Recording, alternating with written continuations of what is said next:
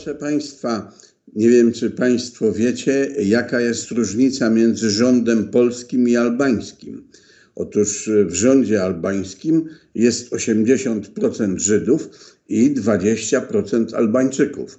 W polskim rządzie nie ma Albańczyków.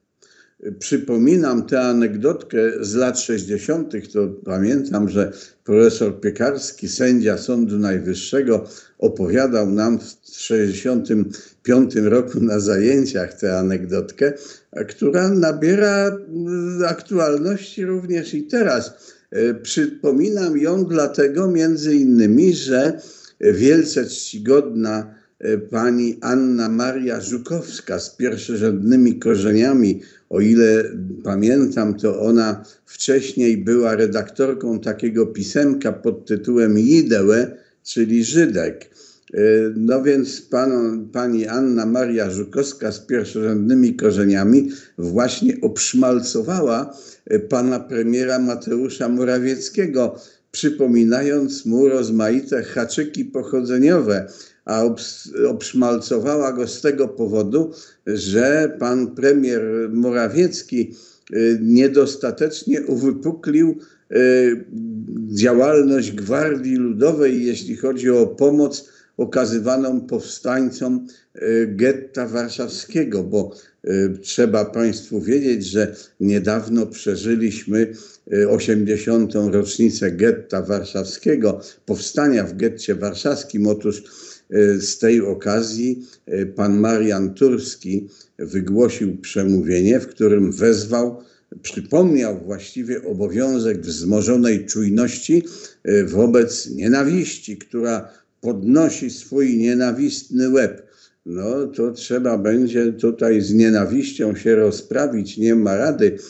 Problem leży w tym, że nienawiść to nie unosi się w powietrzu tak jak jakieś miazmaty, e, tylko e, jest produkowana przez nienawistników, więc jeżeli zamierzamy tutaj raz na zawsze rozprawić się z nienawiścią, no to nie możemy nienawistników ominąć i tutaj e, tak jakby powiedział Adolf Hitler, to fanatycznie trzeba by do tego podejść, ale my tak nie będziemy robić. Uchowaj Boże, jeszcze tego brakowało, żebyśmy tu jakieś wzorce czerpali z Hitlera.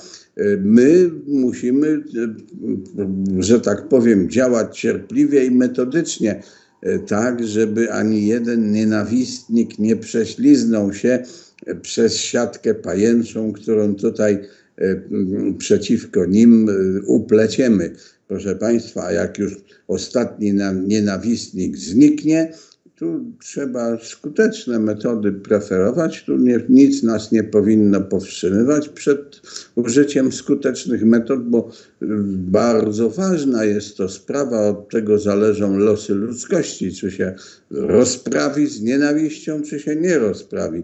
No i proszę Państwa, tutaj musimy w ramach przygotowań do Y, walki z nienawiścią, bo to ostateczne rozwiązanie będzie z nienawiścią, y, proszę Państwa, musimy uderzyć się w piersi. To znaczy, tak nam zaproponowała pani Barbara Engelking.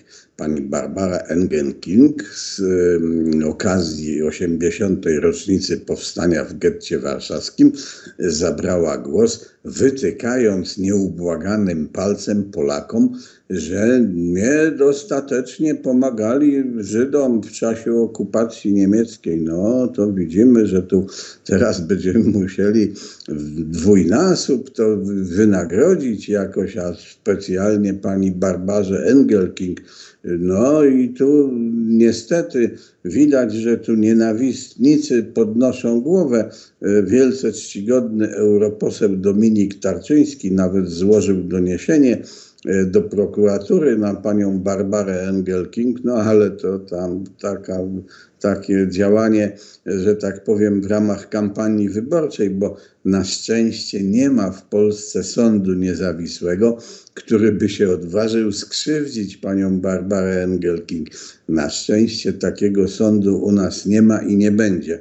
Proszę Państwa, pan minister Czarnek natomiast zapowiedział, że nie będzie dawał pieniędzy na te instytucje zatrudniające naukowców obrażających Polaków no to dobrze, to już jakiś krok we właściwą stronę, bo ja oczekiwałbym, że pan minister Czarnek nie będzie dawał żadnych publicznych pieniędzy również na instytucje zatrudniające naukowców, którzy się podlizują Polakom. W ogóle żadnym naukowcom niczego nie dawać. No i wtedy się okaże, czy ich praca jest komukolwiek potrzebna, czy nie. Proszę Państwa, no takie mamy pokłosie e, rocznicy, 80. rocznicy powstania w getcie warszawskim, widzimy, że a tu z tej okazji Judenrat Gazety Wyborczej po staremu zabrał się za obsrywanie narodu polskiego. Tam pani Bikont przypomina, jak to e, ci mordercy z Jedwabnego, jaki to jacy zadowoleni z życia byli. No nie tylko oni, muszę powiedzieć, że e, Jakub Berman też był zadowolony z życia. Józef Światło też był zadowolony z życia. Nie mówiąc o Lunie Brystygerowej, która z życia to była zadowolona jak mało kto. Tam jak e, ktoś jej nie dogodził, to mu ściskała szufladą genitalia. E, także widać było, że docenia te wszystkie uroki życia. No, proszę Państwa, skaranie boskie z tymi Żydami mamy. Widać, że trudno im dogodzić, no ale trzeba się starać, bo inaczej obsmarują nas, będą upokarzać Polskę na arenie międzynarodowej, tak jak to zapowiadał Izrael Zinger w 1996 roku. Więc musimy się pilnować, musimy się wziąć w garść. Proszę Państwa, tymczasem afera z ukraińskim zbożem zakończyła się wesołym oberkiem. To znaczy nie zakończyła się, bo ona się nam odbije czkawką e, tak w miesiącach e, letnich, e, ponieważ wesoły oberek opiewa, iż do lipca to zboże ukraińskie zniknie z polskich magazynów. No ciekaw jestem, jak to rząd dobrej zmiany zrobi, przecież sam tego nie zje, zresztą ono się nie bardzo nadaje nawet na paszę. Gdyby na przykład naczelnik państwa nakazał nam jeść zamiast robali, nakazał nam jeść to ukraińskie zboże, to moglibyśmy dostać od tego niestrawności. No ale to, proszę państwa, nie uprzedzajmy faktów, jak, że tak powiem, afera z ukraińskim zbożem odbije się, zacznie odbijać się nam szkawką, no to wtedy będziemy się martwili. Tymczasem, proszę Państwa, y, pojawiły się na świecie fałszywe pogłoski, że ten wybuch nad Kijowem, który był dziełem ciała niebieskiego, wcale nie był dziełem żadnego ciała niebieskiego, tylko był to jakiś, jakaś ruska nowa broń, y, która zniszczyła bunkier podziemny, w którym znajdowało się 300 osób, między innymi rozmaici doradcy z NATO. No i to oczywiście nie ma ani słowa prawdy w tych fałszywych pogłoskach, bo to wiadomo, że to meteoryt wybuchł i ukraiński sztab generalny powiedział, że on się ciałami niebieskimi nie zajmuje. No ale trzeba powiedzieć, że prezydent Zełenski ciało niebieskie czy nie ciało niebieskie, mniejsza o to, wyciągnął wnioski e, z tego i rozmawiał, właśnie rozmawiał z przywódcą Chin. E, no i tam obydwie strony wyraziły zadowolenie. Być może, że e, prezydent Zełenski się zorientował, że stawiając wszystko na Stany Zjednoczone może się przelicytować, bo właśnie Stany Zjednoczone opublikowały takie plany ukraińskie, sekretne, że Ukraińcy planowali uderzenie na Moskwę. No to wyobrażam sobie, jak się Putin zmartwił z tego powodu.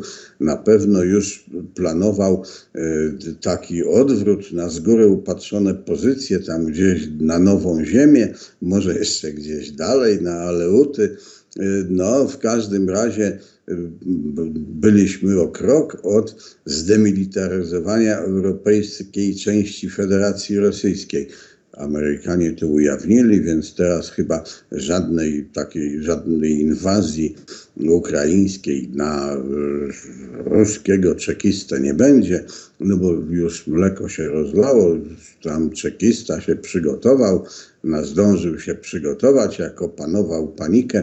Proszę Państwa, no więc trzeba postawić tutaj na Chińczyków i się zaprzyjaźnić z Chińczykami na wypadek, gdyby jednak ostateczne rozwiązanie kwestii chińskiej Amerykanom się nie udało. No i to w związku z tym pytanie, czy zapowiadana z takim przytupem od wielu miesięcy ukraińska ofensywa wreszcie się objawi, czy też będziemy jej oczekiwać. Proszę Państwa, na razie y, oczekujemy. W związku z tym możemy rzucić okiem na sytuację wewnętrzną. Otóż Wewnętrzna sytuacja polega na tym, że w ramach przygotowań do jesiennych wyborów Prawo i Sprawiedliwość zarzuca rozmaite wnyki, zastawia na Donalda Tuska. Pierwszym takim wnykiem to jest ustawa o nadzwyczajnej komisji, która tam w której byliby oprócz parlamentarzystów zasłużonych również